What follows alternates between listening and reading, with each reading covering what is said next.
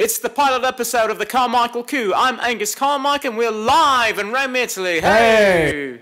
For the first show, we have a real special treat for you today because our first guest is no other than Luke C. Pherian. Luke, tell our audience where you're from. Well, I hail from the Bronx, New York. Luke is the frontman and lead singer of Moan. Correct me if I'm pronouncing it right, Luke. I don't want the fans to hate me. Is it Moan or Muon? Tell me how to say it correctly. Muon. Muon, okay. Please, if you can describe the genre, because I'm very new to Stone and Doom Sludge. I want to understand this correctly. Please describe it. Well, I hate sticking labels and names on musicians and bands, but uh, yeah, we are technically a stoner doom band, so that's a fusion of stoner rock and doom metal. Now, Oh, wow. stoner rock has to do with the use of um, hallucinogens Hallucinogens, alright. to have a receptive mind, right? That's right, advanced consciousness. I mean, Exactly.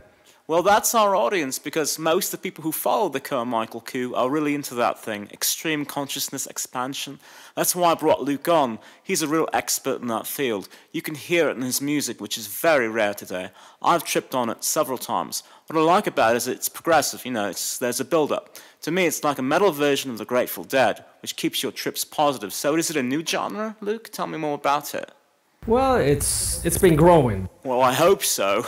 It started off as a fusion okay. and it became a genre in its own right. Luke, a famous hardcore singer from New York, all the way to northern Italy, now singing doom metal. Tell us more. Well, it's a long story. Start from the beginning. How did he join the band? The founders of this band are Jacopo and Pietro, Okay. who are two Venetians who met in high school, Okay. and they posted an ad. I answered it, and I joined the band. Then we started looking for a bassist and a drummer, and we tried a few until we found the perfect one. And that's how the official band Muon got started. All right, people, it took a lot of effort to this interview. We didn't even know if Luke would join us, and you're the ones that asked me to have him on. You are Luke C. Pherian. This is not an imposter. Are you the real one? Are you not? How did we get this lucky? Am I lying? Are you real? Yeah, it's I'm the real one. it, right?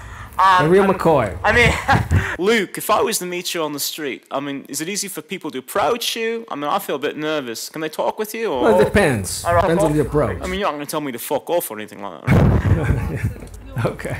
that was Luke C. Pherian. We'll be back in a few moments for this great interview. Stay tuned. All right, we're back with the frontman of Muon, Luke C. Pherian, with their hit track Never Born. How are you, Luke? I'm doing great.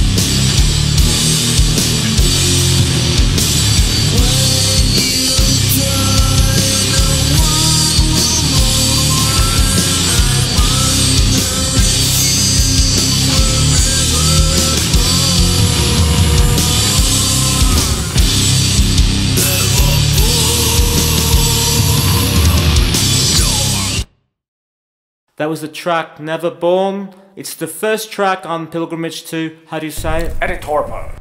Okay. Well, can you give the mystery away? People really want to know. Yeah. Well, Etidorhpa is Aphrodite spelled backward. How did you get started in music? Growing up in the Bronx in the 1970s, I was literally surrounded by music. Right. My parents listened to the opera or traditional old time Italian singers. Other people in the neighborhood, they were making salsa. That was the time when salsa was being developed.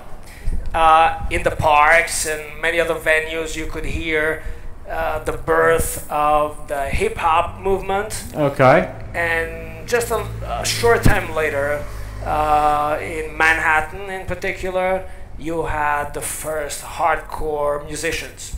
All right. So give, give us some So- examples. You know.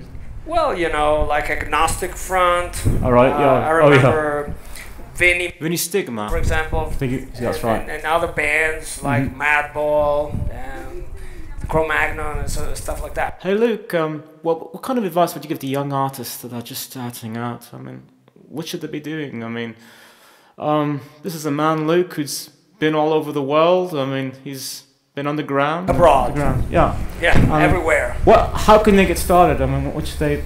Well, do your homework.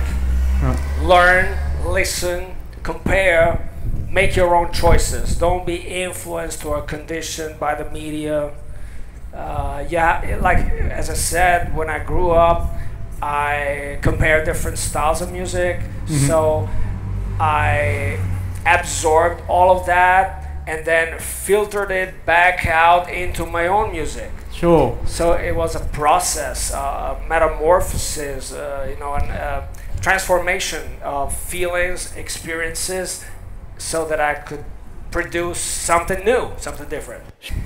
In the past, you had these impresarios, these producers sitting in an office room, chomping on a cigar, listening to different musicians, and they just gave him a try. They just gave That's them an opportunity. Said, I don't understand much about music, but let's give him a try. Maybe the audience will like him. Sure. But today, uh, with all this, the, the, the statistics and the, the Google searches and everything, you can figure out what kind of music was successful.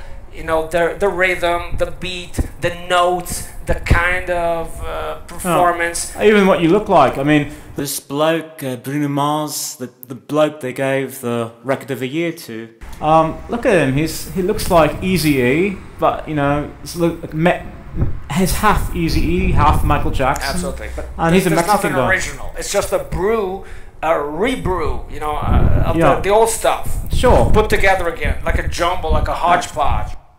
Intelligence They're agencies. trying to brainwash us all the time. That's right. That's and, right. then- and they make psychedelic cures, I I mean psychedelic drugs, illegal, and yet they Another way to control people's minds. Sure, and I, I see it like you know, in like qu- quantum mechanics, you have that um, reverse uh, quadrant theory where you have the mirror image of of. I, mean, I s- I think that's what uh, Christian morals are like because they give us these Christian moral leaders, you know, like Trump, and uh, you know, even the Catholic Church. were standing right in front of St. Peter's. Um, and the priests are pedophiles, and they're against gay sex, yet they're fucking little boys. And it's okay for them to do that. The politicians, they say they're for families, yet they're having bunga bunga orgies. Exactly. or they're touching the women on their pussies or whatever, um, and that's okay for them, but it's not okay for us. And morality is inverse, and that's what I see in today's world. People like Berlusconi or Donald Trump, they're very similar. Yeah. making the last film. They say it's the best, and we all helped make it. It's called the death of the West.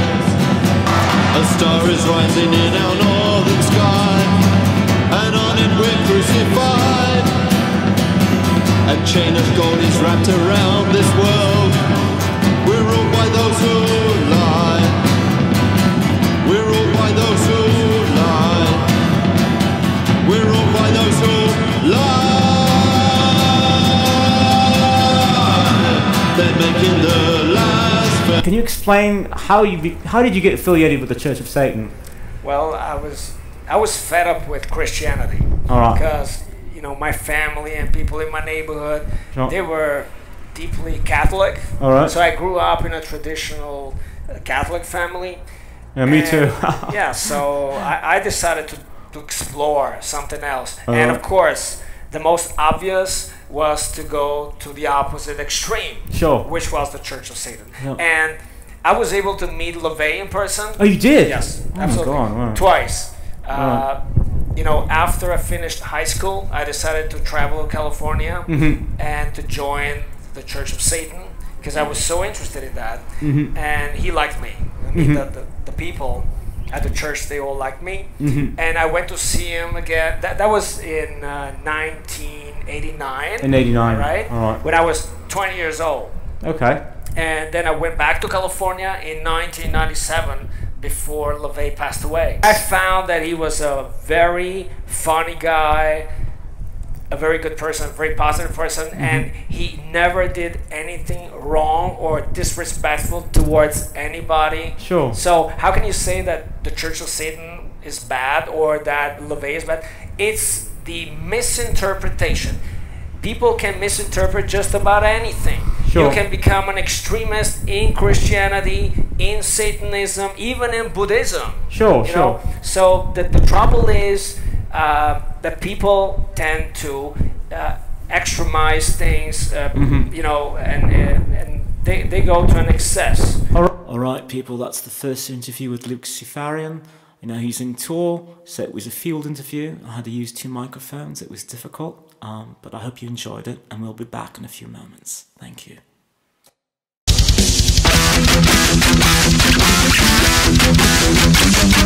Right. Uh, tell us about the band members, because Yeah, sure. we got into it a little bit, but you wanted to explain about the new drummer. 'cause- Absolutely. 'cause I, I knew the band way back when, and the original drummer. And Yes. t- tell us what happened, because the fans want to know. Well, you know, he decided to quit for personal reasons on family grounds. So uh, we had to look for another drummer, but we ended up pretty good. So let me tell you.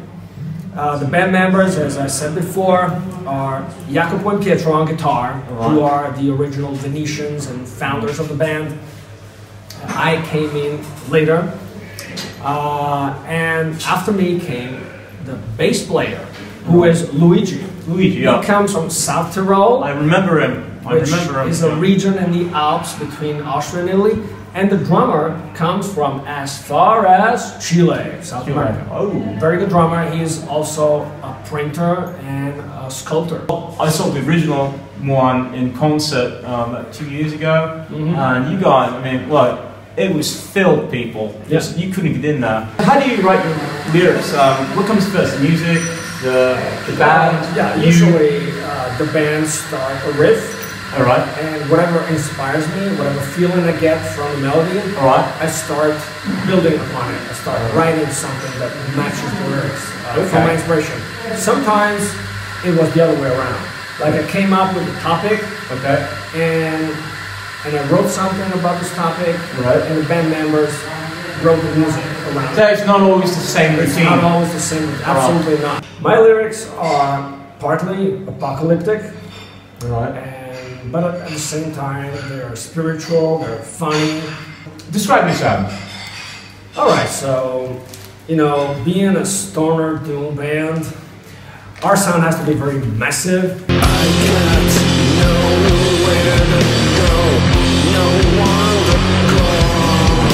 And impacting.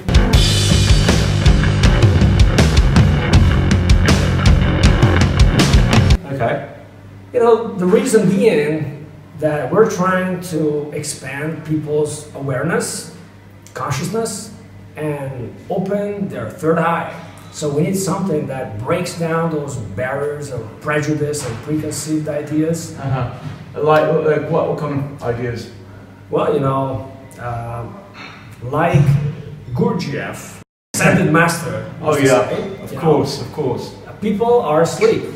Sure. They think they are aware, they think they are rational, but actually, that's not the case. No, you know, no. people are asleep. They're, not, they're not aware of what's going on. Sure. know. So we need to wake them up. Yeah. Is it true that you're into fitness and tattooing? That's right. Yes. It all started back in New York. You know, even though I lived in the Bronx, I used to go to downtown Manhattan very often. I used to go to Chinatown and the East Village, and you know that's an area where a lot of artists used to work. Unfortunately, it changed recently. It's not the same anymore. But you know, at the at the time, it was a very good breeding ground for all sorts of artists, including tattooists. All right. And I, I think that uh, tattoos are very psychedelic. They give us a chance to express ourselves, to, to show our spiritual nature visually to the world. Father than that, don't they? Absolutely. I mean, they have a very long history. They are thousands of years old. And uh, they had two basic reasons to exist. One being uh, their healing power. You know, they were used as forms of acupuncture. Oh, I didn't know that. You know, and that links to my Chinese side, let's say, my Chinese experience, the time I spent in China and my love of Chinese culture. It could be reincarnation too, you know? Yeah, I, I often thought about that. Yeah. Yeah. And then the other reason being that it shows who you are. You can choose. You can. Life is what you make it. Like You can choose it. to be whoever you want to be, whatever you want to be, Mm-hmm. and and you know your tattoos are supposed to show your character, your personality, and your life achievement. Um, I heard you speak Chinese and Japanese. Is that true, or was that just uh, you know uh, uh, fiction? You know, fans have been talking about it. No, that's that's true. Oh, really? That's true. So Because, say something in Chinese. Go. uh, 大家好, You, you see? that means hi everyone. Okay. Uh, yeah, because I lived for some time. Oh, you live in China? China, Taiwan, I didn't know that. Mongolia. Mongolia. Mongolia. Where? Where? Ulaanbaatar. Ulaanbaatar. Um, what did you do there? Well, I just taught English. Oh, you taught English. Yeah. Ah, so you so you also That's did. how I made a living there. That's how you make a living. I didn't know that. All right. Tell us about your latest recording. You know. Uh, Okay, so basically we did an EP right. in Venice, Italy, uh, which was very rough, very aggressive, you know, uh, the way we wanted it. Our CDs are coming out, and so, you know, the EP was called Pilgrimage to Etidorhpa. Uh, where can you find that? Where can you find that? Uh, you can find it looking. on uh, Bandcamp. on Bandcamp, all right? So they're on Bandcamp, which I advise everybody to become a member of because it's real artists Yeah, Pil- presented to you. Etidorhpa. It's not the mafia people. These are real artists. Okay, go ahead. Yeah, no mafiosi. We're we're not mafiosi. That's right. Recently, we went to Benevento, which is in southern Italy. And we recorded a CD. It's going to be called Gobi Domog, which is a Mongolian term. I mean, I was going to ask you about that because um, there was this song, "The Rise of the Giant Gobi." So Yes. I, I, I mean, I didn't understand what that was. Nick Hoyer got off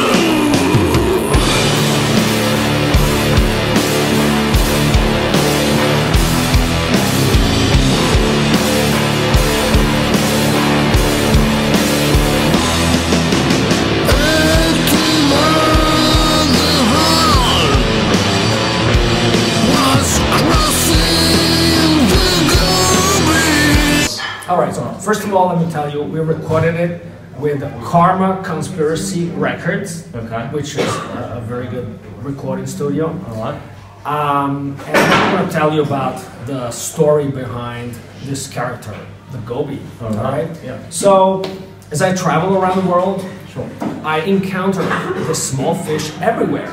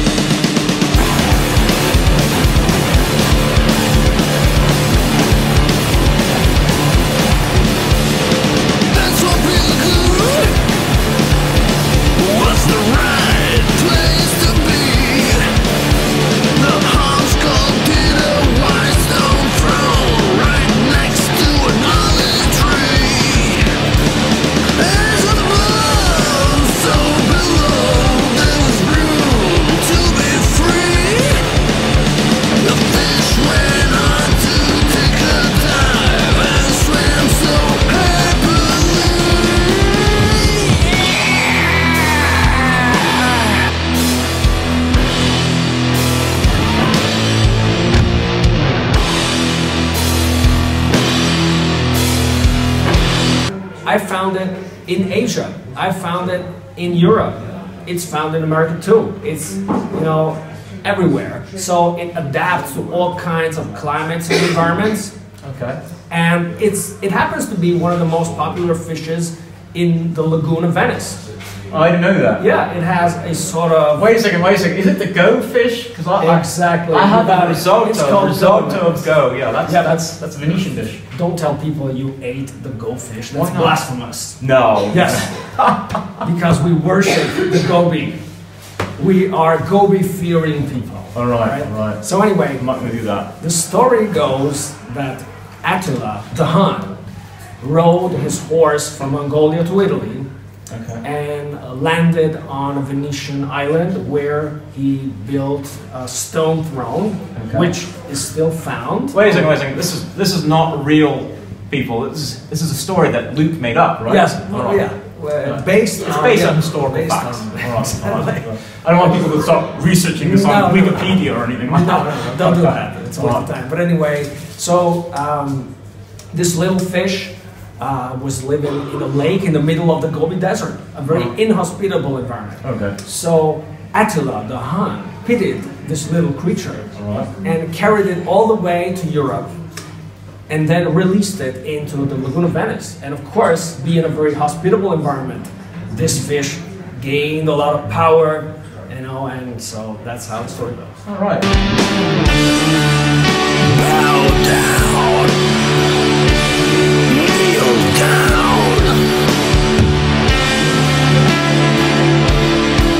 It's Lord. The great Gobi. Um, I've seen you use like a bell on stage. What is that? True. Well, you know, that was a bell that I found in a junkyard. I, I don't know exactly what kind of bell that was. It might have been an alarm bell or a train bell. No, because I've seen that a similar kind of bell in the LaVeyan ritual. That's Uh, true, but actually that came from a junkyard, believe it or not. Okay. And I used it for some time. Now I have a small gong. Oh, that I use okay. on stage, Wow, that's And it'll probably get bigger. All right. Listen, the fans want to know, and you have to let them know. Uh, what was your best trip? We're not talking about plane or train trips. We're talking about some. No, no, a special trip. A special trip. Yeah. Alright. Well, you know, I tried LSD and Right. magic mushrooms, All right.